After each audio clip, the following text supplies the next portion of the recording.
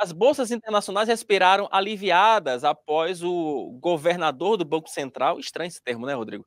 O governador do Banco Central, o Shinichi Yoshida, se comprometer a não aumentar os juros no país asiático enquanto os mercados estiverem instáveis. É bom lembrar que essa semana, né, a bolsa de Tóquio, ela sofreu abalos em função aí da de medo sobre, de um eventual recesso, de uma eventual recessão da economia dos Estados Unidos. Rodrigo Oliveira, explica para a gente direitinho essa história, porque parece que agora é, é aquele momento em que o mar dos mercados tenta navegar em mares menos revoltos.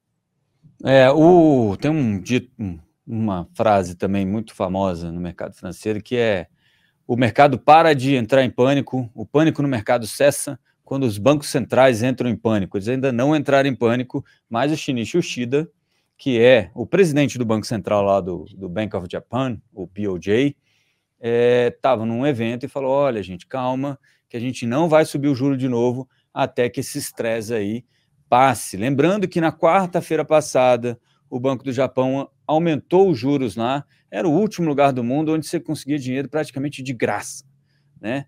É, aumentou os juros lá porque a inflação começou a andar depois de mais de 20 anos aí do Japão tentando criar inflação, né? incentivando o japonês a gastar dinheiro, só que o japonês ele guarda dinheiro. Você dá dinheiro para ele, ele guarda. Se dá mais dinheiro, ele guarda, ele nunca quer gastar e a inflação não andava. Mas como o mundo todo começou a exportar a inflação também, chegou lá e eles conseguiram então ter um pouquinho de inflação, só que tem que controlar para não, né? É um, é um foco de incêndio, mas você não quer que pegue fogo na floresta toda.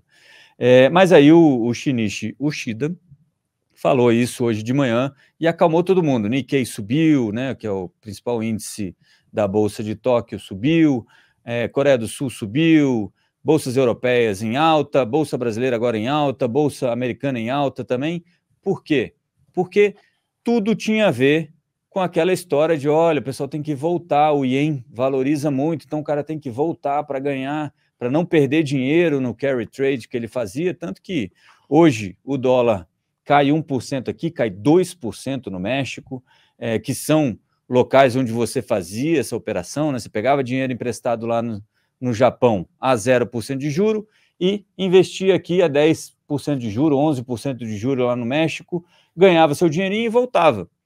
Quando a moeda japonesa começou a valorizar demais, essa essa operação fica complicada e o pessoal tem que desmontar, né? Então, o desmonte dessas operações que vocês ouvem aí, o desmonte do carry trade, é que estava pressionando o dólar. Quando pressiona o dólar, pressiona a taxa de juros aqui, porque o dólar causa inflação, o Banco Central fica preocupado, estava na ata, inclusive, ontem, e aí vira essa ziquezira toda, a bolsa cai, desabou lá no Japão na segunda-feira, 12, depois voltou 10, hoje voltou mais um e pouco, praticamente zerou aquela a segunda-feira sangrenta né, da, da, da bolsa japonesa no comecinho da semana, e todo mundo agora um pouco mais tranquilo. No Brasil ainda tem, óbvio, o recado claríssimo do Banco Central brasileiro, que a gente comentou ontem, inclusive, de que é possível, né, se o câmbio não melhorar, é possível que o Banco Central comece a subir os juros. E era isso que ninguém